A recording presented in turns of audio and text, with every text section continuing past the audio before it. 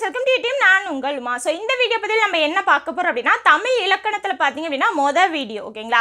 So சிக்ஸ்த்துலேருந்து twelfth வரைக்கும் இருக்க ஓல்டு புக்கு நியூ புக்கு அதுக்கப்புறம் சிறப்பு தமிழ் இது எல்லாத்தையுமே கம்பைன் பண்ணி இருக்கிற இலக்கணம் இருக்கு இல்லையா? எல்லாத்தையுமே எடுத்து நம்ம வந்து அதை ஆறாக பிரிச்சுட்டோம் ஓகேங்களா? ஸோ நான் ஆல்ரெடி நான் இதுக்காக வீடியோ போட்டிருப்பேன் ஓகேங்களா? ஸோ அந்த இயலை பார்த்தீங்கன்னா நிறைய இயல் உங்களுக்கு வர்ற மாதிரி இருக்கும். அதனால் அதை ஆறாக பிரிச்சுக்கோங்க அப்படின்னு சொல்லியிருப்பேன். எழுத்து இலக்கணம் சொல்லிலக்கணம் பொருள் இலக்கணம் யாப்பிலக்கணம் அதுக்கப்புறம் அணி இலக்கணம் பொது இலக்கணம்னு ஆறாக பிரிச்சுக்கோங்க. அப்போ ஆறு இயலாக நீங்கள் ஞாபகம் வச்சுக்கிட்டீங்க அப்படின்னா உங்களுக்கு படிக்கிறதுக்கும் ஈஸியாக இருக்கும். அது போக பார்த்தீங்க அப்படின்னா அதிகமாக இருக்குது அப்படிங்கிற அந்த ஒரு எண்ணமும் உங்களுக்கு வராது அப்படின்னு சொல்லி சொல்லியிருப்பேன் ஓகேங்களா? ஸோ அந்த வீடியோ பார்க்காதவங்க இந்த வீடியோ டிஸ்கிரிப்ஷனில் அதோட லிங்க் கொடுக்குறேன். ஸோ ஃபுல்லாக பார்த்துருங்க ஓகேங்களா? அப்போ தான் இது வந்து தெளிவாக உங்களுக்கு புரியும் ஓகேங்களா? ஸோ அந்த பேஸில் தான் நம்ம வந்து இலக்கண கிளாஸ் நடத்த போகிறோம் ஓகேங்களா? ஸோ இன்னைக்கு முதல் கிளாஸ் ஓகேங்களா? ஸோ இதில் என்னென்ன இருக்கும் அப்படின்னா எழுத்துக்களும் மனிதர்களும் அப்படிங்கிற டாபிக் சிக்ஸ்த் ஸ்டாண்டர்ட் ஓல்டு புக்கில் டேர்ம் ஒன் இயல் ஒன்னில் இருக்கும் ஓகேங்களா அதுக்கப்புறம் பார்த்தீங்க அப்படின்னா தமிழ் எழுத்துக்களின் வகை தொகை இது பார்த்தீங்க அப்படின்னா சிக்ஸ்த்து புக்கு நியூ நியூ புக்கில் டேர்ம் ஒன் இயல் ஒன்னுலையும் ninth book old book term one இயல் ஒன்னுலையும் இருக்கும் ஓகேங்களா அதுக்கப்புறம் குரில் நெடில் எழுத்துகளும் உறவும். இந்த டாபிக் பார்த்தீங்க அப்படின்னா சிக்ஸ்த்து புக்கு ஓல்டு புக்கில் டேர்ம் ஒன் இயல் டூவில் இருக்கும் ஓகேங்களா ஸோ இது எல்லாத்தையுமே நம்ம இன்றைக்கி கவர் பண்ண போகிறோம் ஒன்றுமே கிடையாதுங்க. இது ஃபுல்லாகவே பார்த்தீங்க அப்படின்னா பேசிக் ஓகேங்களா ஸோ எழுத்து அந்த இலக்கணம் அது பேசிக் இருக்கும். அது போக பார்த்தீங்க அப்படின்னா எழுத்து இலக்கணத்தோட பேசிக் இருக்கும் ஓகேங்களா? ஸோ இதை தான் இன்னைக்கு கிளாஸில் கம்ப்ளீட் பண்ண போகிறோம் ஓகேங்களா? ஸோ எதா இருந்தாலும் சரி பேசிக் தானே அப்படின்னு போகக்கூடாது ஓகேங்களா? ஸோ பேசிக் தான் எப்பயுமே ஸ்ட்ராங்காக போடணும் ஓகேங்களா? ஸோ பேஸ்மெண்ட் ஸ்ட்ராங்காக இருந்தால் தான் பில்டிங் ஸ்ட்ராங்காக வரும் ஓகேங்களா? ஸோ அப்போ எந்த ஒரு கிளாஸையும் இதுதானே அதுதானே நமக்கு தெரிஞ்சது தானே அப்படின்னு சொல்லிட்டு மிஸ் பண்ணாமல் ஸ்கிப் பண்ணாமல் ஃபஸ்ட்லேருந்து கடைசி வரைக்கும் ஃபுல்லாக தெளிவாக பாருங்கள் ஓகேங்களா? ஸோ ஏ டு இசட் தெளிவாக பாருங்கள் எந்த இடத்துல இருந்து வேணால் எக்ஸாமில் கேள்விகள் கேட்கலாம் ஓகேங்களா ஸோ மொத மாதிரி கிடையாது இல்லையா எக்ஸாம் பேட்டர்ன் எல்லாமே?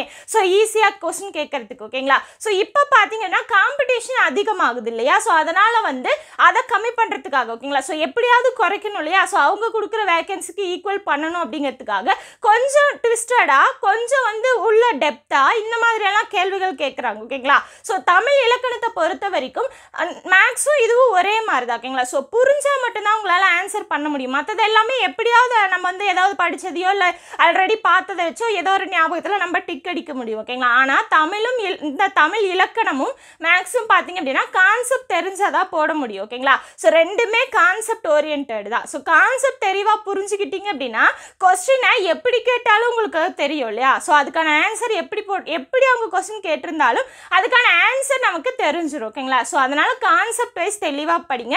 வீடியோவை ஸ்கிப் பண்ணாமல் கடைசி வரைக்கும் பாருங்கள் இந்த கிளாஸ் மட்டும் கிடையாது. ஸோ நம்ம எடு எடுக்க போகிற எல்லா கிளாஸையுமே தெளிவாக கவனிங்க ஓகேங்களா ஸோ தெளிவாக நோட்டு போட்டு கவனிங்க. இப்போயே நோட் போட்டுக்கோங்க ஓகேங்களா ஸோ தெளிவாக நோட்டு போட்டு ஒவ்வொரு ஹெட்டிங் போட்டு எந்த ஸ்கூலில் இருக்குது அப்படிங்கிறத நான் எழுதிட்டு தான் நான் உங்களுக்கு கிளாஸ் நடத்து ஓகேங்களா ஸோ அப்போ அது எல்லாத்தையும் நோட் பண்ணி வச்சு எல்லாத்தையுமே தெளிவாக எழுதி படிங்க. ஸோ எப்பயுமே உங்களுக்கு மனசில் பதிஞ்சிரும் ஓகேங்களா ஸோ எப்பயுமே மறக்காது. அதை அப்படியே சப்போஸ் ஏதோ ஒரு ம பாதி தெரியும் பாதி தெரியாத மாதிரி இருக்குது பல மாதம் கழிச்சு அப்படின்னா கூட நீங்கள் எழுதுனதை எடுத்து திருப்பி பார்த்தீங்க அப்படின்னா ஒன்ஸ் நீங்கள் பார்த்தாலே அப்படியே ஃபுல்லாகவே உங்களுக்கு ம- மறுபடியும் ஞாபகம் வந்துடும் ஓகேங்களா? ஸோ கிளாஸை ஃபுல்லாக கவனிங் ஓகேங்களா? ஸோ பாருங்கள் சிக்ஸ்த்து புக்கு ஓல்டு நியூவில் இருக்கிறது அப்புறம் நைன்த்து புக்கு ஓல்டில் இருக்கிறது தான் இப்போ நம்ம பார்க்க போகிறோம் இந்த மூணு டாபிக் தான் ஓகேங்களா? ஸோ இலக்கணம் அப்படின்னா என்னங்க? ஓகேங்களா? ஸோ ஒரு இப்போ வந்து எந்த ஒரு மொழியாக இருக்கட்டும் ஓகேங்களா ஸோ எந்த மொழியாக இருந்தாலும் நம்ம பேசணும் எழுதணும் இல்லையா? ஸோ நம்ம பேசுறது மற்றவங்களுக்கு புரியணும் ஓகேங்களா ஏன்? நமக்கே அது புரியணும் தானே? ஸோ அப்போ புரியணும் அப்படின்னா அதுக்கு ஒரு வரையறை இருக்குது ஓகேங்களா ஸோ இப்படி பேசினாதான் அது வந்து கரெக்டாக இருக்கும் அப்படிங்கிற வரையறை எந்த ஒரு மொழிக்குமே இருக்குது ஓகேங்களா ஸோ தமிழ் இலக்கணம் அப்படின்னா தமிழ் மொழியை நம்ம வந்து பேசுறதுக்கும் எழுதுறதுக்கும் அடுத்தவங்களுக்கு புரியணும் இல்லையா? ஸோ என்ன வேணால் சொல்லிடலாம் அவங்களுக்கு புரியாது அப்படின்னா எப்படி புரியும்? இல்லையா? ஸோ அது ஒரு சில நேரத்தில் நமக்கே நம்ம என்ன சொல்ல வரோம் அப்படிங்கிறது புரியாமல் போயிடும் ஓகேங்களா? ஸோ அதுக்கான வரையறை தான் பார்த்தீங்க அப்படின்னா இலக்கணம் ஓகேங்களா? ஒன்றுமே கிடையாது. ஸோ இலக்கணம் அப்படிங்கிறது நம்ம பேச ஆரம்பிச்சதுலேருந்தே நம்ம கூட அது ட்ராவல் ஆகிட்டே வர்றது தான் ஏன்னா நமக்கு தமிழ் தான் தாய்மொழி அப்படிங்கும்போது நம்ம பேச ஆரம்பித்தோம் இல்லையா குழந்தையாக இருக்கும்போது அப்போ இருந்தே நமக்கு அந்த இலக்கணம் வந்து தொடர்ந்து வந்துக்கிட்டே தான் இருக்குது ஓகேங்களா ஸோ இப்போ குழந்தைங்க கிட்ட பேசுனீங்க அப்படின்னா உங்களுக்கு தெளிவாக புரியும் ஓகேங்களா ஸோ வந்து சாப்பிட்டியா அப்படின்னு கேட்டால் நேற்று சாப்பிட்டேன் அப்படின்னு சொல்லும் ஓகேங்களா ஸோ இன்னைக்கு சாப்பிட்டியா இப்போ சாப்பிட்டியா அப்படின்னு கேள்வி கேட்கறதுக்கு நேற்று பதில் சொல்லும். அப்படி இல்லை அப்படின்னா நாளைக்கு சாப்பிட்டேன் அப்படின்னு சொல்லும் ஓகேங்களா ஸோ அந்த காலத்தை மாற்றி மாற்றி சொல்லும். நீங்கள் தெளிவாக கவனிச்சாலே தெரியும். ஓகேங்களா? ஸோ குழந்தைங்க மேக்ஸிமம் பார்த்தீங்க அப்படின்னா இறந்த காலத்துக்கு வந்து எதிர்காலமோ நி- இகழ்காலமோ போட்டு தான் பேசும். ஓகேங்களா? ஸோ இப்போ பேசுகிறோம் அப்படின்னா கண்டிப்பாக ஒன்று நாளான்னு நாளைக்குன்னு சொல்லு இல்லைன்னா நேற்றுன்னு சொல்லும் அப்போது அந்த காலத்தை எப்படி பேசணும் அப்படிங்கிறத அவங்களோட அப்பா அம்மா தான் சொல்லி கொடுப்பாங்க இல்லையா? ஸோ இப்படி பேசக்கூடாது கண்ணா இப்படி தான் பேசணும் அப்படின்னு சொல்லி கொடுப்பாங்க இல்லையா? ஸோ அப்போ குழந்தையிலேருந்தே நமக்கு அந்த இலக்கணத்தை அப்படியே ஊட்டிக்கிட்டே வராங்க இல்லையா? நம்ம வந்து ஸ்கூல் போகும்போது என்ன ஆகும் அப்படின்னா ஸ்கூலில் இதுதான் இலக்கணம் அப்படின்னு தனியாக சப்ஜெக்டாக வைக்கும்போது சப்ஜெக்ட் அப்படின்னாலே என்ன ஆயிரும்? அது மேலே ஒரு இன்ட்ரெஸ்ட் கம்மி ஆயிரும் ஓகேங்களா ஸோ எதுவுமே இல்லை இது ஸ்ட்ரிக்ட் அப்படின்னு சொல்லாமல் படி சொல்லி கொடுக்கும்போது அது மனசில் பதியுது. அதுவே இதுதான் சப்ஜெக்ட் அப்படின்னு சொல்லிட்டு அதை வந்து நீங்கள் படிக்கணும் எக்ஸாம் எழுதணும் மார்க் வாங்கணும் அப்படின்லாம் சொல்லும்போது அது வந்து அது மேலே ஒரு கசப்பான ஒரு இது வருது இல்லையா? ஸோ இப்போ மேக்ஸ்னாலே நிறைய பேருக்கு புரியாது இல்லையா?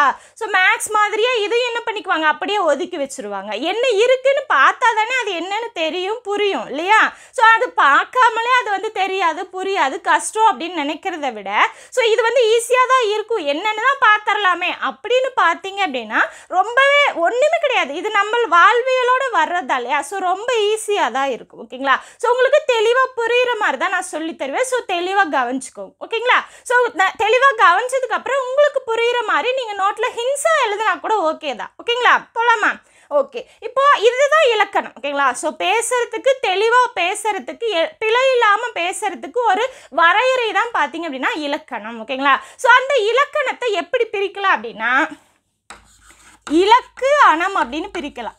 இலக்கு அணம் அப்படின்னு பிரிக்கலாம். இந்த இலக்கு அப்படின்னா குறிக்கோள் அப்படின்னு பெ பொருள். ஓகேங்களா ஸோ இலக்கு அப்படின்னா குறிக்கோள் அணம் அப்படின்னா அழகு அப்படிங்கிற பொருள். இலக்கணத்தை இப்படி தான் பிரிப்பாங்க ஓகேங்களா? ஸோ தமிழ் இலக்கணம் பார்த்தீங்க அப்படின்னா மொத்தமாக அஞ்சு வகை இருக்கு தமிழ் இலக்கணத்தில் மொத்தமாக அஞ்சு வகை இருக்குது என்னென்ன அப்படின்னா எழுத்து இலக்கணம் சொல் இலக்கணம் பொருள் இலக்கணம் யாப்பிலக்கணம் அணி இலக்கணம் இதுக்கு எல்லாத்துக்குமே பொதுவாக வர ஒரு சில இலக்கணங்கள் இருக்கும். அதை தான் நான் என்ன பண்ணிட்டேன்? பொது இலக்கணம்னு ஆறாவதாக சேர்த்திட்டேன் ஓகேங்களா? ஸோ இந்த அஞ்சு வரைக்கும் தான் பார்த்தீங்க அப்படின்னா உங்களுக்கு தமிழ் இலக்கணத்தோட வகைகள் ஓகேங்களா? ஸோ எழுத்து இலக்கணம் சொல் இலக்கணம் பொருள் இலக்கணம் யாப்பிலக்கணம் அணி இலக்கணம். இந்த பொது அப்படிங்கிறது பொதுவான இலக்கணம் ஓகேங்களா? இந்த ஆறை பற்றி தான் நம்ம பார்க்க போகிறோம் ஓகேங்களா? ஸோ இப்போ ஃபஸ்ட்டு எழுத்திலக்கணத்தில் இருக்க ஒரு சில இது பார்த்துக்கலாம் ஓகேங்களா? ஸோ ஏன்னா எழுத்திலக்கணம் தான் முதல்ல அப்போ அதுக்கான கிளாஸ் தான் ஃபஸ்ட்டு போகும் ஓகேங்களா? ஸோ எழுத்திலக்கணம் பார்த்தீங்க அப்படின்னா நார்மலாகவே இலக்கணத்தில் நமக்கு கிடைச்ச பழமையான நூல் பார்த்தீங்க அப்படின்னா தொல்காப்பியம் ஓகேங்களா? ஸோ தமிழ் இலக்கணத்துக்கு பழமையான நமக்கு கிடைச்ச நூல் பார்த்தீங்க அப்படின்னா தொல்காப்பியம். ஆனால் நம்மளோட ஸ்கூல் புக் எல்லாத்துலேயும் பார்த்தீங்க அப்படின்னா நன்னூல் அப்படிங்கிற பவனந்தியார் எழுதினார் இல்லையா? அந்த நூல்ல இருந்து தான் பார்த்தீங்க அப்படின்னா உங்களுக்கு மேக்ஸிமம் வந்து எடுத்துக்காட்டுகள் கொடுத்துருப்பாங்க. ஓகேங்களா? ஸோ நன்னூலில் பவனந்தியார் சொன்ன எடுத்துக்காட்டுதல் தான் நிறைய இருக்கும். ஆனால் தமிழில் கிடைத்த மிக பழைய தொ- இலக்கண நூல் பார்த்தீங்க அப்படின்னா தொல்காப்பியம். இதெல்லாமே உங்களுக்கு கொஸ்டினாக கேட்கக்கூடிய ஒரு சில கேள்விகள் தான். ஓகேங்களா? ஸோ ஆல்ரெடியும் கேட்டிருக்காங்க. ஸோ தெரிஞ்சு வச்சுக்கோங்க ஓகேங்களா? ஸோ இப்போ இதெல்லாமே பார்க்கலாம் ஓகேங்களா? ஸோ பாருங்க. எழுத்து. இப்போ ஃபஸ்ட்டு பார்த்தீங்கன்னா எழுத்துகளும் மனிதர்களும் அப்படின்னு ஏன் சொல்கிறாங்க அப்படின்னா எழுத்துகளும் மனிதர்கள் மாதிரியே தான் நாம ஓகேங்களா? ஏன் அப்படி சொல்கிறாங்க அப்படின்னா எழுத்துக்களுக்கும் பார்த்தீங்க அப்படின்னா நட்பும் உண்டு இனமும் உண்டு அப்படின்னு சொல்கிறாங்க ஓகேங்களா? ஸோ நட்பு இனம். ரெண்டுமே ஒன்று தான் ஓகேங்களா? ஸோ நட்பு இல்லைன்னா இனம் அப்படின்னு சொல்லுவாங்க ஓகேங்களா? ஸோ நட்பு எழுத்துக்கள் அப்படி இல்லை அப்படின்னா இன எழுத்துக்கள் அப்படின்னு சொல்லுவாங்க ஓகேங்களா? ஸோ எப்படி வரும் அப்படிங்கிறத இன எழுத்துக்கள் அப்படிங்கிற ஒரு டாபிக் வரும். ஸோ அப்போ நம்ம பார்த்துக்கலாம். ஒன்றுமே கிடையாது. என்னென்னா இப்போ வந்து இந்த இங்கு வருதுன்னு வச்சுக்கோங்களேன். இது இருக்கு இல்லையா? இது வந்துச்சு அப்படின்னா இதுக்கப்புறம் கா வரிசை எழுத்துக்கள் தான் வரும். ஓகேங்களா? ஸோ வேறு எந்த எழுத்துக்களும் வராது. இப்போ பாருங்க சிங்கம் பங்கம் இந்த மாதிரிலாம் வருது இல்லையா? ஸோ அப்போ அந்த இங் அப்படிங்கிறதுக்கு அப்புறம் கா வரிசை அது என்ன வேணால் வரலாம். இப்போ தங்கை. காதா வர கிடையாது. அந்த காவரிசையில் எது வேணா வரலாம். இப்போ தங்கை ஓகேங்களா ஸோ அந்த மாதிரி இந்த இங் வர்ற இடத்துல கா அந்த வரிசை தான் வரும். ஸோ அப்போ அது ரெண்டுமே நட்பெழுத்துக்கள் ஓகேங்களா ஸோ ஒன்றுக்கு ஒன்று நட்பாக தான் இருக்கும் அப்படிங்கிறது சொல்கிறது ஓகேங்களா அதே மாதிரி இன்ச் இந்த இது வந்துச்சு அப்படின்னா சா வரிசை எழுத்துக்கள் தான் வரும். ஓகேங்களா ஸோ சா வரிசை எது வேணால் வரலாம். பாருங்க. பஞ்சு மஞ்சள் புரியுதுங்களா? ஸோ இந்த இடத்துல இஞ்சுக்கு அப்புறம் சாவரிசை எழுத்துக்கள் தான் வரும் அப்போ இது ரெண்டுமே உங்களுக்கு இணை எழுத்துக்கள் இல்லைனா நட்பெழுத்துக்கள் அப்படின்னு சொல்லலாம் ஓகேங்களா ஸோ இதை பற்றி டீட்டெயில்டாக நம்ம வந்து இணை எழுத்துக்கள் அப்படிங்கிற ஒரு டாபிக் வரும். ஸோ அதில் நம்ம பார்த்துக்கலாம் ஓகேங்களா அது ஸ்கூல் புக்கில் தனியாகவே உங்களுக்கு கொடுத்துருப்பாங்க. அது எந்த ஸ்டாண்டர்டில் கொடுத்துருக்காங்க? அதில் என்ன கொடுத்துருக்காங்க அப்படிங்கிறத நம்ம தனியாக பார்த்துக்கலாம் ஓகேங்களா ஸோ இப்போதைக்கு இதுதான் அப்படிங்கிறது தெரிஞ்சு வச்சுக்கோங்க ஓகேங்களா ஸோ நட்பும் இனமும் மனிதர்களைப் போலவே இருப்பதால் இதை வந்து நம்ம மனிதர்களும் எழுத்துக்களும் அப்படி ஒரே மாதிரி தான் இருப்பாங்க அப்படின்னு சொல்லுவாங்க ஓகேங்களா? ஸோ முதல் எழுத்து எல்லாத்துக்குமே தெரியும். ஆ ஓகேங்களா? ஸோ இந்த எழுத்து எல்லாத்துக்கும் தெரிஞ்ச விஷயம் தான். இந்த ஆ அப்படிங்கிறதுல இந்த கோடு இருக்கு இல்லையா? இந்த கோடு பார்த்தீங்க அப்படின்னா மனிதனின் முதுகெலும்பு மாதிரி இருக்குது அப்படின்னு சொல்லி சொல்லுவாங்க. ஓகேங்களா? அது போக அப்போல்லாம் வேட்டைக்கு போவாங்க இல்லையா? ஸோ ராஜாக்கள் ஆ, எல்லாருமே பார்த்தீங்கன்னா வேட்டைகள் போ வேட்டைக்கு போவாங்க இல்லையா? ஸோ அப்போ வேட்டைக்கு போகும்போது முதுகுக்கு பின்னாடி அம்பு கூட்டை சுமந்துட்டு போவாங்க இல்லையா? ஸோ ஏதாவது அம்பு விட்டு இது பண்ணுறதுக்காக ஸோ அந்த அம்பு கூட்டு மாதிரி இருக்குது அப்படிங்கிறதையும் மென்ஷன் பண்ணியிருப்பாங்க அந்த ஸ்டாண்டர்ட் புக்கில் ஓகேங்களா? ஸோ சிக்ஸ்த் ஓல்டு புக்கில் மென்ஷன் பண்ணியிருப்பாங்க ஓகேங்களா? ஸோ இது முதுகுத்தண்டு மாதிரியும் அது போக பார்த்தீங்க அப்படின்னா அந்த வேட்டையாரத்துக்கு போகும்போது பின்னாடி தூக்கிட்டு போகிற அந்த அம்பு கூட்ட சுமக்குது இல்லையா? அந்த இது மாதிரியும் இருக்கிறதால இந்த இதை அவங்க மனிதர்களோட ஒப்பிட்டிருப்பாங்க ஓகேங்களா? ஸோ அப்போ தமிழ் எழுத்துக்களும் மனிதர்கள் மாதிரி தான் அப்படின்னு சொல்லி அதை ஒப்பிட்டிருப்பாங்க ஓகேங்களா? ஸோ அது போக ஒரு சிலது எல்லாமே இருக்கும். அது எல்லாமே நம்ம பின்னாடி வர வர பார்த்துக்கலாம் ஓகேங்களா? ஸோ அதோட டாபிக் வரும்போது பார்த்துக்கலாம் ஓகேங்களா? ஸோ பிரித்தெழுது சேர்த்தெழுது அதுக்கப்புறம் பார்த்தீங்கன்னா இணை எழுத்துக்களில் இன்னும் ரெண்டு மூணு இருக்கும் ஓகேங்களா ஸோ அதுக்கப்புறம் ஒற்றை கொம்பு இரட்டை கொம்பு குரில் நெடில் இதெல்லாமே வரும். ஸோ இது எல்லாமே அந்தந்த டாபிக் வரும்போது நான் அப்படியே அதை இன்க்ளூட் பண்ணிடுறேன் ஓகேங்களா ஸோ அப்போ உங்களுக்கு இன்னுமே தெளிவாக புரியும். இங்கே கொஞ்சம் படிச்சுட்டு இதோட கண்டினியூஷன் வேற எங்கேயாவது படித்தோம் அப்படின்னா நமக்கு என்ன ஆயிரும்? கன்ஃபியூஸ் ஆயிரும் ஓகேங்களா ஸோ அப்போது எந்த இடத்துல எதுக்கானது வேணுமோ அந்த இடத்துல நான் அதை எடுத்து யூஸ் பண்ணிக்கிறேன். ஸோ உங்களுக்கு தெளிவாக பதிஞ்சிடும் ஓகேங்களா ஸ்கூல் புக்கில் இதில் தான் இருக்குது அப்படின்னு நான் சொல்லிடுறேன் ஆனால் அதை அப்படியே நடத்தணும் அப்படின்னா உங்களுக்கு என்ன ஆயிரும்? கன்ஃபியூஸ் ஆயிரும். அதனால் எதை எந்த இடத்துல இன்க்ளூட் பண்ணுமோ அந்த இடத்துல இன்க்ளூட் பண்ணி நான் தெளிவாக நடத்திடுறேன். ஓகேங்களா? ஸோ இது எல்லாமே எழுத்துக்களும் மனிதர்களும் அப்படிங்கிற இதில் வரும். ஓகேங்களா? அதுக்கப்புறம் பார்த்தீங்கன்னா தமிழ் எழுத்துக்களின் வகை தொகை ஓகேங்களா? ஸோ இதை பார்க்கறதுக்கு முன்னாடி ஒரு சில பேசிக்கு ஆனால் வந்து உங்களுக்கு அவுட் ஆஃப் புக்கில் இருக்கும். ஸோ அதை நான் சொல்லிடுறேன். ஸோ ஜஸ்ட் தெரிஞ்சு வச்சுக்கோங்க. ஸோ அது எதுலேருந்து வந்திருக்கு அப்படின்னு தெரிஞ்சுக்கிறதுக்காக தான் ஓகேங்களா? ஸோ நன்னூலில் பவனந்தியார் பார்த்தீங்க அப்படின்னா எழுத்திலக்கணம் இருக்கு இல்லையா? ஸோ எழுத்துக்கு பன்னெண்டு பகுதியாக சொல்லியிருப்பார். எழுத்திலக்கணத்தை பன்னெண்டு பகுதியாக சொல்லியிருப்பார். என்னென்ன அப்படின்னா பாருங்க என் பெயர் முறை பிறப்பு உருவம் மாத்திரை முதல் ஈறு இடைநிலை போலி பதம் புணர்ப்பு. ரெண்டு நாலு ஆறு எட்டு பத்து பன்னெண்டு. ஓகேங்களா ஸோ இந்த பன்னெண்டா அந்த எழுத்து இலக்கணத்தில் அவர் பகுதியாக பிரிச்சிருப்பார். ஓகேங்களா ஸோ இந்த பன்னெண்டுலேருந்து தான் வரும். ஓகேங்களா ஸோ என்னென்ன அப்படிங்கிறத நான் தெளிவாக சொல்கிறேன் ஓகேங்களா ஸோ ஓரலாக கவனிங்க. எண் அப்படிங்கிறது பார்த்தீங்க அப்படின்னா அந்த எழுத்துக்களோட எண்ணிக்கை எழுத்துகளின் எண்ணிக்கை. ஸோ இதை பற்றி சொல்கிறதா இப்போ எழுத்துக்களோட எண்ணிக்கை நமக்கு தெரியும் இல்லையா? தமிழ் எழுத்துக்களின் எண்ணிக்கை பார்த்தீங்க அப்படின்னா மொத்தமாக இரநூத்தி நாற்பத்தி ஏழு. அதை பற்றி நான் டீட்டெயில்டாக சொல்கிறேன் ஓகேங்களா அதுக்கப்புறம் எழுத்துக்களின் பெயர். எழுத்துக்களின் பெயர் அப்படின்னா என்ன அப்படின்னா இப்போ எழுத்தை பார்த்தோம் அப்படின்னா அது உயிர் எழுத்து மெய் எழுத்து உயிர்மை எழுத்து ஆயுத எழுத்துன்னு நம்ம தனித்தனியாக சொல்கிறோம் இல்லையா? ஸோ அதை தான் எழுத்துக்களோட பெயர் அப்படின்னு சொல்கிறாங்க ஓகேங்களா? அதுக்கப்புறம் முறை. இது பார்த்தீங்க அப்படின்னா எழுத்துகளின் வரிசை ஓகேங்களா? ஸோ எழுத்துகளின் வரிசை அப்படிங்கிறத நம்ம நெடுங்கணக்கு அப்படின்னு சொல்லலாம். என்னன்னு சொல்லலாம்? நெடுங்கணக்கு அப்படின்னு சொல்லலாம். எழுத்துக்களின் வரிசை அப்படின்னா என்ன அப்படின்னா முறை தான் இல்லையா? ஸோ இந்த எழுத்துக்கு அப்புறம் தான் இந்த எழுத்து வரணும் அப்படிங்கிற அந்த வரிசைப்படுத்துகிறாங்க இல்லையா? ஆக்கப்புறம் தான் ஆ வரணும். ஓக்கு அப்புறம் தான் ஓ வரணும். அதுக்கப்புறம் காக்கு அப்புறம் தான் கா வரணும். இந்த மாதிரி அந்த எழுத்துக்களை வரிசைப்படுத்துகிறாங்க இல்லையா? ஸோ அந்த வரிசைப்படுத்துகிற முறையை தான் பார்த்தீங்கன்னா முறை அப்படின்னு சொல்லுவாங்க. அதுதான் எழுத்துக்களின் வரிசை. அதை நெடுங்கணக்கு அப்படின்னு சொல்லலாம். இது ஒரு பெரிய கணக்கு மாதிரி தான் இல்லையா? ஸோ இதுக்கப்புறம் தான் இது வரணும் இதுக்கப்புறம் தான் இது வரணும்னு இரநூத்தி நாற்பத்தேழு எழுத்தை அவங்க வந்து மாற்றி மாற்றி வச்சுருக்காங்க இல்லையா? ஸோ அது மிகப்பெரிய கணக்கு மாதிரி. அதனால் அதை நெடுங்கணக்கு அப்படின்னு சொல்கிறாங்க ஓகேங்களா? ஸோ அதுக்கப்புறம் பார்த்தீங்கன்னா பிறப்பு. எழுத்துகளின் பிறப்பு.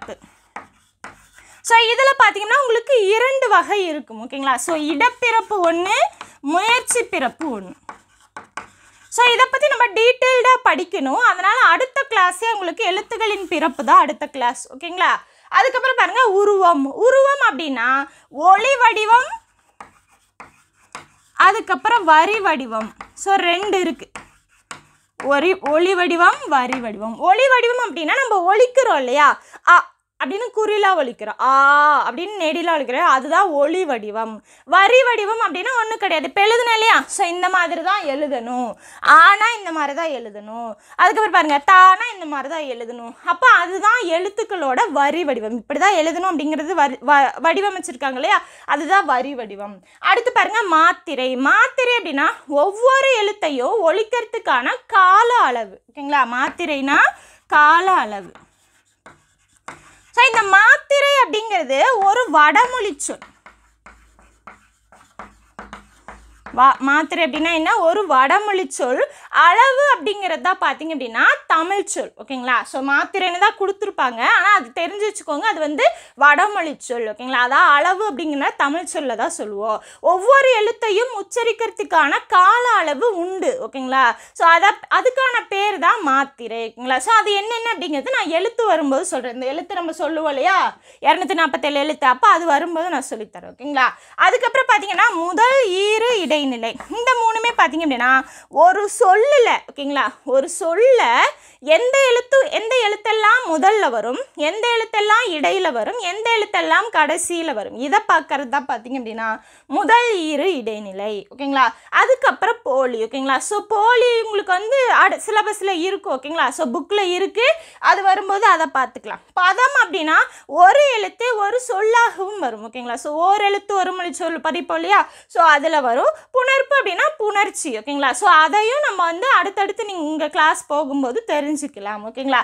ஸோ இவ்வளோதான் இதில் பார்த்தீங்க அப்படின்னா மொதல் பத்து போலி வரைக்கும் ஓகேங்களா ஸோ எண் முதல் போலி வரை இருக்கு இல்லையா? இதை பார்த்தீங்க அப்படின்னா எழுத்துகளின் அக இலக்கணம் அப்படின்னு சொல்லுவாங்க. எழுத்துகளின் அக இலக்கணம்.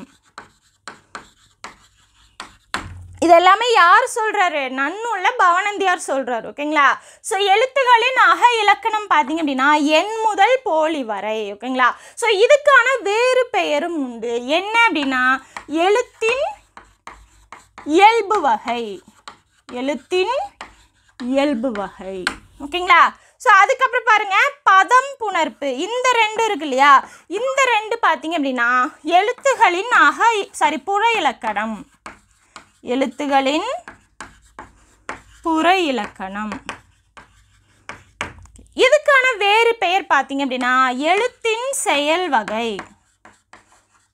எழுத்தின் செயல் வகை. ஸோ வேறு பெயர்கள் எல்லாமே ரொம்ப முக்கியம் ஓகேங்களா ஸோ தெளிவாக இப்படி கொடுக்காம கன்ஃபியூஸ் பண்ணுறதுக்காக ட்விஸ்ட் பண்ணுறதுக்காக இந்த இதை வர் வச்சு கேட்பாங்க ஓகேங்களா ஸோ அந்த மாதிரி கேட்டால் என்ன அப்படிங்கிறதே தெரியாது. ஒருவேளை அவுட் ஆஃப் சிலபஸோ அப்படின்னு நம்ம நினைப்போம் ஓகேங்களா ஸோ அப்படியெல்லாம் பார்க்கக்கூடாது.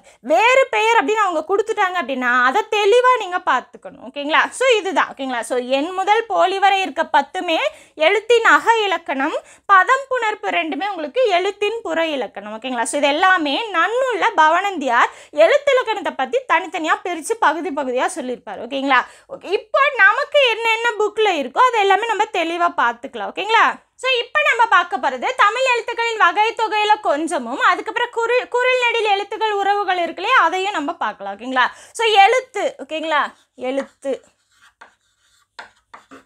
ஸோ எழுத்துல என்னென்ன இருக்குது அப்படிங்கிறது என்னென்ன வகை இருக்குது அப்படிங்கிறது எல்லாத்துக்குமே தெரியும் இல்லையா? ஸோ என்னென்ன இருக்குது உயிர் எழுத்து அதுக்கப்புறம் மெய் எழுத்து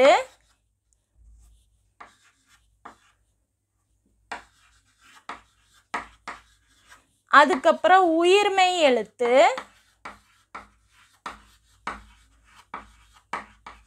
அதுக்கப்புறம் ஆயுத எழுத்து.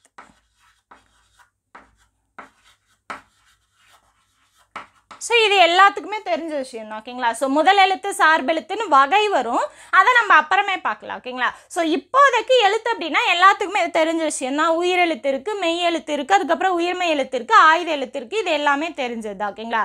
ஸோ எண் அப்படின்னா என்ன சொன்னேன்? எண்ணிக்கை அப்படின்னு சொன்னேன். எவ்வளோ இருக்குது உயிரெழுத்தில் உங்களுக்கு பன்னெண்டு எழுத்து இருக்குது மொத்தமாக எல்லாத்துக்கும் தெரிஞ்சது தான் இல்லையா?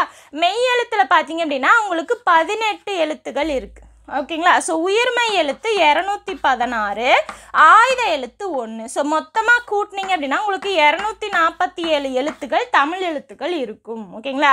ஸோ உயிரெழுத்து பன்னெண்டு மெய் எழுத்து பதினெட்டு உயிர்மை எழுத்து இரநூத்தி பதினாறு ஆயுத எழுத்து ஒன்று ஓகேங்களா? ஸோ இந்த உயிரெழுத்துலையும் பார்த்தீங்க அப்படின்னா உயிர்குறில் உயிர்குறில் உயிர் நெடில் அப்படின்னு வரும். ஓகேங்களா? ஸோ அதாவது உயிரெழுத்துலேயே பார்த்தீங்கன்னா குறில் எழுத்து நெடில் எழுத்து அப்படின்னு இருக்கும். என்ன அப்படின்னா இப்போ மாத்திரை அப்படின்னு சொன்னேன் இல்லையா? ஸோ எழுத்துக்களை உச்சரிக்கிறதுக்கு ஒரு கால அளவு இருக்குது அப்படின்னு சொல்லி. அந்த கால அளவை பொறுத்து குறுகி ஒழிக்கிற எழுத்துக்களை குரில் எழுத்து அப்படின்னும் நீண்டு ஒழிக்கிற எழுத்துக்களை நெடில் எழுத்து அப்படின்னும் பிரிச்சிருக்காங்க. ஓகேங்களா ஸோ குரில் எழுத்துன்னா என்ன? உயிரெழுத்தில் பார்த்தீங்க அப்படின்னா அ இ உ ஏ ஓ ஓகேங்களா? ஸோ இந்த அஞ்சும் பார்த்தீங்க அப்படின்னா உங்களுக்கு உயிர்குறில் ஓகேங்களா? ஆ இ உ ஏ ஓ ஔ அதுக்கப்புறம் ஐ இடையில விட்டுட்டேன் ஓகேங்களா ஸோ இந்த ஏழுமே பார்த்தீங்க அப்படின்னா உங்களுக்கு உயிர் நெடில் ஓகேங்களா ஸோ உயிர் குரில் உயிர் நெடில். அப்போது இது தெரிஞ்ச விஷயந்தான் ஸோ குரில் எழுத்து அப்படின்னா அ அப்படிங்கிற அந்த டைமில் முடிஞ்சுது ஓகேங்களா ஸோ ஒரு மாத்திரை அப்படின்னா என்ன அப்படின்னா கண் சிமிட்டுற நேரம் தான் ஓகேங்களா ஸோ இப்படி கண் சிமிட்டுற நேரமும் கை சொடுக்குகிற இந்த நேரமும் தான் ஓகேங்களா ஸோ அந்த நேரத்துக்குள்ள இந்த ஒரு மாத்திரை முடிஞ்சிடும் ஓகேங்களா ஸோ குரில் எழுத்து ஒரு மாத்திரை அளவு இருக்கும். ஓகேங்களா? ஸோ குரில் எழுத்து ஒரு மாத்திரை அளவு ஒலிக்கும். நெடில் எழுத்து இரண்டு மாத்திரை அளவு ஒலிக்கும். ஸோ நான் இதில் மூணையுமே சொல்லிடுறேன். பாருங்கள் எழுத்துக்களோட எண்ணிக்கை சொல்லிட்டேன். எழுத்துக்களோட பெயர் சொல்லிட்டேன். அதுக்கப்புறம் மாத்திரை அளவும் நான் சொல்லிட்டு வரேன். ஓகேங்களா? தெளிவாக புரியுதுங்களா? ஓகே அடுத்து பார்த்தீங்கன்னா மெய் எழுத்து. ஓகேங்களா? ஸோ மெய் எழுத்தில் மூன்று வகை உண்டு. மெய்யெழுத்தில் மூன்று வகை உண்டு. என்ன என்ன அப்படின்னா வல்லினம் மெல்லினம் இடையினம். ஓகேங்களா? ஸோ வல்லின எழுத்து மெல்லின எழுத்து இடையின எழுத்து. இந்த மாதிரி மூன்று வகை உண்டு. ஓகேங்களா? ஸோ என்ன என்ன அப்படிங்கிறதையும் பார்த்துக்கலாம். பாருங்கள் கசட தவற. கசட தபர மெய் எழுத்து அப்படின்னாலே புள்ளி வரும். ஸோ புள்ளி வச்சுக்கணும். நீங்கள் ஈஸியாக ஞாபகம் வச்சுக்கிறதுக்காக நான் கசட தபர அப்படின்னு சொன்னேன். இந்த இதை நீங்கள் ஞாபகம் வச்சுக்கினா என்ன ஆகும் இக்கு இச்சு இட்டு இத்து இப்பு இரு அப்படின்னு சொல்லணும். ஓகேங்களா ஸோ அது மறக்கும். அதனால் என்ன பண்ணிக்கோங்க? கசட தபர வல்லினம். ஓகேங்களா அடுத்து ஞனன நமன. ஞனன நமன மெல்லினம். அடுத்து எரள வளல. எரள வளல. இது பார்த்தீங்க அப்படின்னா உங்களுக்கு இடை. நம் ஸோ புள்ளி வச்சுக்கோங்க. மெய் எழுத்து அப்படின்னாலே என்ன வரும்? புள்ளி வரும். ஓகேங்களா? ஸோ அப்போ வல்லினம் மெல்லினம் இடையினம். கசட தபர வல்லினம் எ- எரள வளல இடையினம் ஞனன மெல்லினம். ஸோ இது தெரிஞ்சு வச்சுக்கணும். ஓகேங்களா? ஸோ மெய் எழுத்து அரை மாத்திரை அளவு தான் ஒழிக்கும். அரை மாத்திரை அளவு. ஸோ இதில் வல்லினம் மெல்லினம் இடையினம் எந்த எழுத்து எடுத்தாலோ புள்ளி வச்ச எழுத்து அதாவது ஒற்று எழுத்து அப்படின்னு சொல்லுவாங்க ஓகேங்களா? ஸோ ஒற்று எழுத்து எப்பயுமே அரை மாத்திரை அளவு தான் ஒலிக்கும் ஓகேங்களா? ஸோ ஒற்று எழுத்து அப்படி இல்லை அப்படின்னா புள்ளி வச்ச எழுத்து மெய் எழுத்து எப்படி சொன்னாலும் சரி அரை மாத்திரை அளவு தான் ஒழிக்கும் ஓகேங்களா? மெய் அப்படின்னா உங்களுக்கு உடல் அப்படிங்கிற அந்த பொருளையும் தரும். ஓகேங்களா? உடல் அப்படிங்கிற அந்த பொருளை தரும். அடுத்து பாருங்க உயிர்மெய் எழுத்து. உயிர்மெய் எழுத்து அப்படின்னா உயிரெழுத்தும் மெய் எழுத்தும் சேர்ந்து பிறக்கக்கூடிய எழுத்து தான் உயிர்மெய் எழுத்து. இப்போ இக்கு இருக்குன்னு வச்சுக்கோங்களேன். இக்கு ப்ளஸ் ஆ. இதை எப்படி எழுதுவோம்? கா அப்படின்னு சொல்லுவோம். இப்போ இந்த உயிரும் மெய்யும் இணைந்து உயிரெழுத்து உருவாகி உயிர்மை எழுத்து உருவாகி இருக்கு. ஓகேங்களா? ஸோ அப்போ உயிர்மை எழுத்து அப்படிங்கிறது உங்களுக்கு இரநூத்தி பதினாறு வரும். அதாவது கா முதல் நவ் வரைக்கும் இருக்க இரநூத்தி பதினாறு எழுத்துக்களுமே பார்த்தீங்கன்னா உயிர்மை எழுத்து. ஓகேங்களா? ஸோ எப்படி வந்து உயிர் உயிரெழுத்த உயிர்குறில் உயிர் நெடில் அப்படின்னு பிரித்தோமோ அதே மாதிரி இதையும் பார்த்தீங்க அப்படின்னா ஓகேங்களா? ஸோ மெய் உயிர்மை எழுத்து இருக்கு இல்லையா? அதையும் உயிர்மை குரில் உயிர்மை நெடில் அப்படின்னு பிரிக்கணும். ஓகேங்களா ஸோ உயிரெழுத்து அந்த மெய்யெழுத்து பதினெட்டு தான். அந்த பதினெட்டும் உயிர் குறிலான ஐந்து எழுத்துக்களோட போ போய் சேரும்போது என்னாகும்? பதினெட்டு இன்ட்டு அஞ்சு தொண்ணூறுன்னு ஆகும். அப்போ தொண்ணூறு எழுத்துக்கள் உயிர்மை குரில் இருக்குது ஓகேங்களா?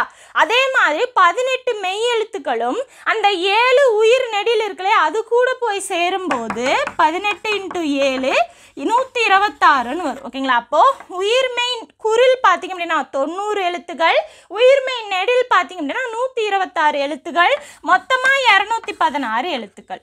ஓகேங்களா? ஸோ இந்த மாதிரி பிரிச்சுக்கணும். ஓகேங்களா? ஸோ அதாவது இப்போ இது பார்த்தீங்கன்னா இக்கு ப்ளஸ் ஆ கா. இதுவே இக்கு ப்ளஸ் ஆ கா. இந்த மாதிரி ஓகேங்களா? ஸோ அந்த நெடு உயிர் குரில் கூட சேரும்போது உயிர்மை குரில் உயிர் நெடில் கூட சேரும்போது உயிர்மை நெடில் ஓகேங்களா? ஸோ இதெல்லாமே தெரிஞ்சு வச்சுக்கோங்க. அடுத்து பார்த்தீங்க அப்படின்னா ஸோ உயிர்மை எழுத்து அப்படின்னாலும் உங்களுக்கு உயிர்மை குரில் அப்படின்னா ஒரு மாத்திரை அளவு உயிர்மை நெடில் அப்படின்னா இரண்டு மாத்திரை அளவு ஓகேங்களா? ஓகே அடுத்து ஆயுத எழுத்து. ஆயுத எழுத்து ஒன்று தான் இருக்கும் இல்லையா அக்கேனம் தனிநிலை இந்த மாதிரி சொல்லுவாங்க ஓகேங்களா? ஸோ இது உங்களுக்கு ஒற்றெழுத்து மாதிரி தான் ஓகேங்களா? ஸோ இதுவும் ஒரு ஒற்றெழுத்து மாதிரி தான் வரும். அப்போ இதுக்கும் என்ன மாத்திரை? அரை மாத்திரை அளவு தான் ஓகேங்களா ஸோ இது தலையிலேருந்து பிறக்கும். ஸோ பிற பிறப்பு அப்படிங்கிறத பார்க்கும்போது நான் அதை வந்து தெளிவாக சொல்லித்தரேன் ஓகேங்களா? ஸோ சார்பெழுத்தில் இது வரும். இதுவும் இதுவும் உங்களுக்கு சார்பெழுத்தில் வரும். ஓகேங்களா? ஸோ சார்பெழுத்தில் வரும்போது உங்களுக்கு நான் அதை பற்றின டீட்டெயில்டான எக்ஸ்ப்ளனேஷன் கொடுக்குறேன். ஓகேங்களா? ஸோ இப்போ இந்த ரெண்டு உயிரெழுத்து மெய் எழுத்து இருக்கு இல்லையா? இதை ரெண்டையுமே முதல் எழுத்து அப்படின்னு பிரிப்போம். ஓகேங்களா? ஸோ முதல் எழுத்தை சார்ந்து வரக்கூடிய எழுத்துக்கள் தான் சார்பெழுத்துக்கள் அப்படின்னு வரும். ஸோ எழுத்துக்கள் வந்து அப்படி பிரிச்சிருப்பாங்க ஓகேங்களா ஸோ முதல் எழுத்து ஒன்று சார்பெழுத்து ஒன்று முதல் எழுத்தில் உயிரெழுத்தும் மெய் எழுத்தும் சேர்ந்து முப்பது எழுத்துக்களும் பார்த்தீங்கன்னா முதல் எழுத்துன்னு வரும். சார்பெழுத்து அப்படின்னா முதல் எழுத்தை சார்ந்து வரக்கூடிய எழுத்துக்கள் சார்பெழுத்துக்கள்னு வரும். அப்போ அதை ரெண்டையும் நம்ம படிச்சுக்கலாம். ஆயுத எழுத்துக்கு வேறு சில பெயர்கள் பார்த்தீங்க அப்படின்னா தனிநிலை முப்புள்ளி முப்பார் புள்ளி அக்கேனம் இந்த மாதிரி பெயர்கள்லாம் இருக்குது ஓகேங்களா ஸோ அது எல்லாமே நம்ம அதில் டீட்டெயில்டாக பார்த்துக்கலாம் ஓகேங்களா ஸோ சார்பெழுத்தில் பார்த்தீங்கன்னா மொத்தமாக பத்து வகை இருக்குது ஓகேங்களா ஸோ என்னென்ன அப்படின்னா உயிர்மை ஆயுதம் உயிரளபடை ஒற்றளபடை குற்றியலுகரம் குற்றியலிகரம் ஐகார குறுக்கம் அவுகார குறுக்கம் மகர குறுக்கம் ஆயுத குறுக்கம். ஓகேங்களா? ஸோ இந்த பத்துமே வரும். ஸோ அந்த தெளிவாக அதுக்கான டீட்டெயில்ஸை நம்ம அப்புறமே பார்க்கலாம் ஓகேங்களா? ஸோ அந்த டாபிக் வரும்போது நம்ம அதை தெளிவாக பார்த்துக்கலாம். இப்போதைக்கு இது எல்லாமே பேசிக் ஓகேங்களா? ஸோ இதை தான் அந்த மூணு டாப்பிக்கில் சொல்லியிருப்பாங்க.